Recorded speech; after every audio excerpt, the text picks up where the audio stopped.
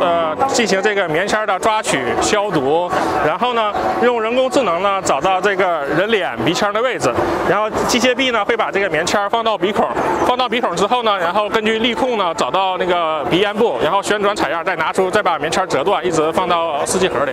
整个过程呢能够完全的由机器人那个完成，实现无人化。主要的目标呢是避免这种在高风险的应用时候呢，避免那个医护人员的接触感染啊。我们在机械臂上安装了力控传感器，它可以跟它是有这种触觉感觉的，所以它可以精确的控制这个棉签跟鼻接触的力。那么我们在实际上呢，对它进行了优化，让它的这个插入的速度更更慢一点，所以实际体验来讲，可能要比医生插的稍稍舒服一。